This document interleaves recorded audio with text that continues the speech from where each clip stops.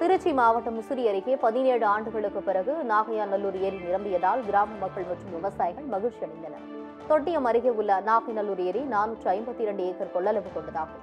இந்நிலையில் தொடர்மழை காரணமாக பதினேழு ஆண்டுகளுக்கு பிறகு ஏரி நிரம்பியுள்ளது. இதையடுத்து கரட்டுப்பட்டி பெரிய நாச்சுப்பட்டி ஆனைக்கல்பட்டி நானாப்பட்டி குங்கம்பட்டி கல்லூர்பட்டி உள்ளிட்ட பகுதிகளில் இருந்து விவசாயிகள் மற்றும் கிராம மக்கள் வந்து மகிழ்ச்சியுடன் ஏரியை பார்வையிட்டு செல்கின்றனர்.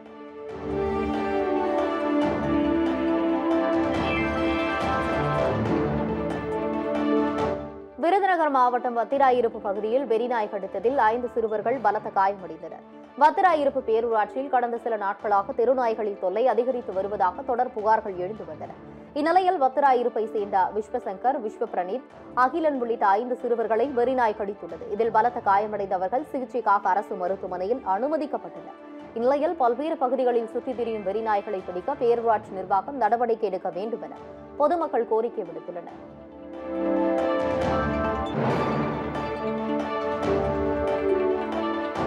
திருப்பத்தூர் மாவட்டம் நாச்சம்பள்ளி அருகே ஐம்பது ஆண்டு காலமாக பயன்படுத்தி வந்த பாதையில் தனிநபர்கள் பள்ளம் தோண்டியதாக கூறி கிராம மக்கள் நூதன முறையில் ஆர்ப்பாட்டத்தில் ஈடுபட்டனர்.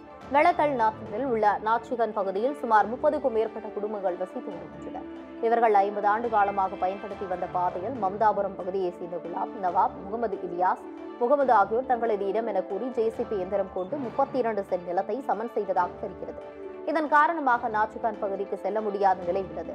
இதனால் ஆவேசமடைந்த கிராம மக்கள் பாலம் தோண்டப்பட்ட இடத்தில் தங்களது குழந்தைகளுடன் காலி குடங்களுடனும் ஜேசிபி இயந்திரத்தில் உடைக்கப்பட்ட குடிநீர் பைப்புகளுடனும் ஆர்ப்பாட்டத்தில் ஈடுபட்டனர்.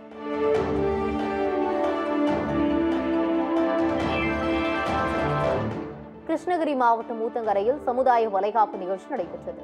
சமூக நலன் மற்றும் உரிமைத்துறை ஒருங்கிணைந்த குழந்தை வளர்ச்சி சார்பில் நடைபெற்ற இந்த நிகழ்ச்சியில் பர்கூர் சட்டமன்ற மதியழகன் கலந்து கொண்டு கர்ப்பிணி தாய்மார்களுக்கு வளைகாப்பு சீர்வரிசை வழங்கினார். மேலும் மாநில மகளிர் ஆணைய உறுப்பினர் மாலதி நாராயணசாமி கலந்து கொண்டு பெண்கள் கர்ப்ப காலத்தில் உட்கொள்ள வேண்டிய உணவுகள் குறித்தும் உடல்நலத்தை பேணி காப்பது குறித்தும் எடுத்துரைத்தார். இந்நிகழ்வில் ஊத்தங்கரை ஒன்றிய செயலாளர் குழு தலைவர் உஷாராணி குமரேசன் உள்ளிட்ட பலர் கலந்து கொண்டனர்.